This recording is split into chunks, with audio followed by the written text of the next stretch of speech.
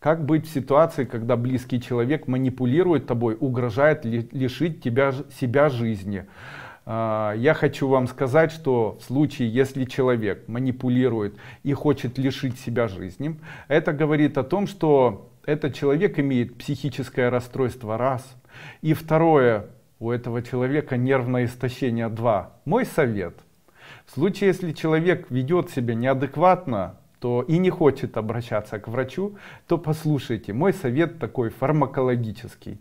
Давайте этому человеку магний, давайте ему по 200 или даже по 400 миллиграммов магния два раза в день.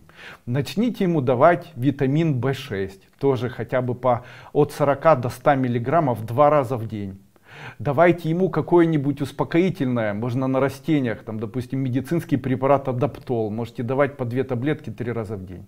Обязательно проверьте ему щитовидную железу и обязательно добавляйте ему в компотик йод так чтобы не отравился.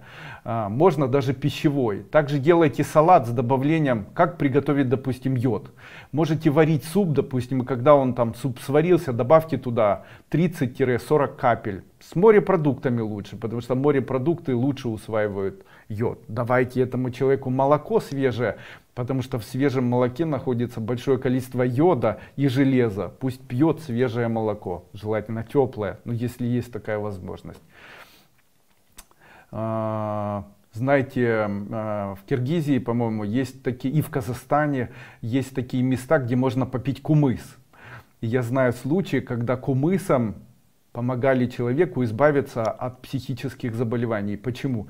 Большое количество йода в кумысе. Именно поэтому употребление йод содержащих продуктов питания могут помочь человеку. Также витамин D3 находится и D-витамин находится в молоке свежем. Но если свежего нет, то тогда придется покупать йод содержащие БАДы и БАДы с э, высоким содержанием витамина D3. Начните это давать, тогда этот человек уже не захочет себя убивать.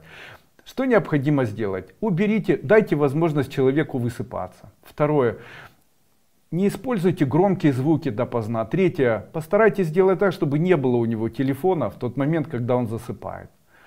Четвертое. Отключите на время в своей квартире Wi-Fi. Пусть Wi-Fi на время в вашей квартире не будет. Пусть человек успокоится. Возможно, он уже находится в том возрасте, когда его социальная позиция и бессилие социальное разочаровывает, а ему, ему хочется что-либо изменить, и он считает, что информация, которую он получает через интернет, может помочь ему что-либо изменить в этом мире, наивно при этом полагая, что его слово и его желание что-то изменить может как-то изменить в этом мире хоть что-то.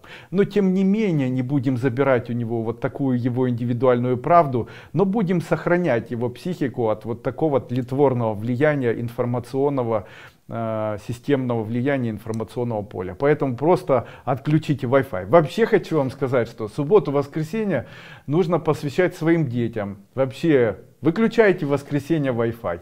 Пусть больше внимания будет посвящено вам. Держитесь за ручки, разговаривайте о чем-то. Знаете, это очень хороший такой вот метод заставить всю семью быть друг с другом. Выключить в субботу-воскресенье Wi-Fi.